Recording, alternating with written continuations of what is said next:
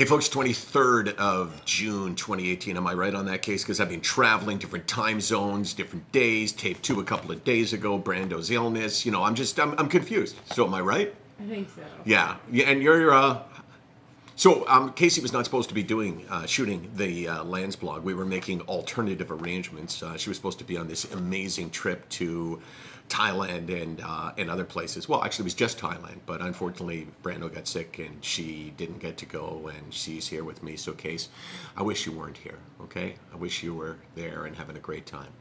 Sorry. It's okay. Just want to be with my buddy.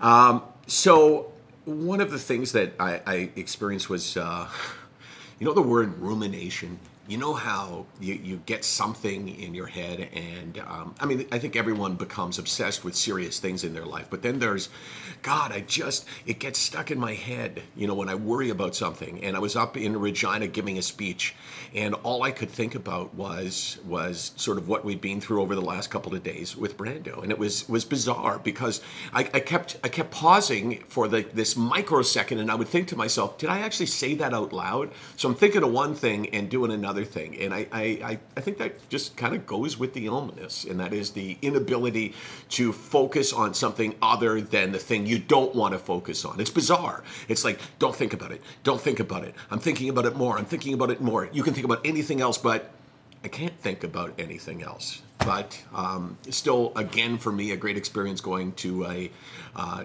to a different city, to a different group of people, to um, to try to share this experience called mental illness. And I had this this uh, well, I mean, every time I travel, you bump into people, and I had another really sort of cool moment. I told you last week about this really cool moment at dinner when there was this family and they're eating and they shared. So I'm driving in um, I was being driven. Someone picked me up at the hotel, and we're driving into the Farm Progress event. This massive event with tractors all over the place. Oh man, I felt so at home there. I, I love uh, I love the freedom of farming.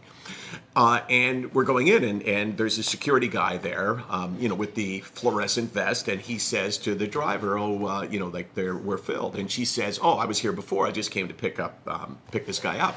And he looks in and he goes Hey, Mike, how you doing, man? How are you?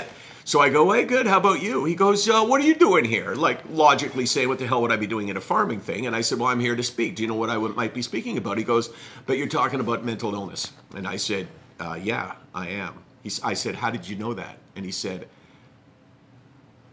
and it got really quiet. Me too.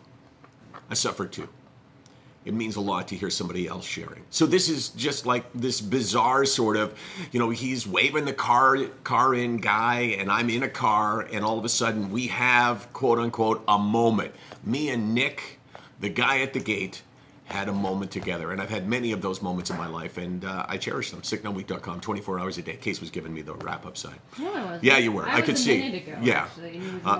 SickNotWeak.com, 24 hours a day, 364 days a year, unless somebody in the family gets sick, and then maybe it's a little bit less. We're here because guys like Nick need us.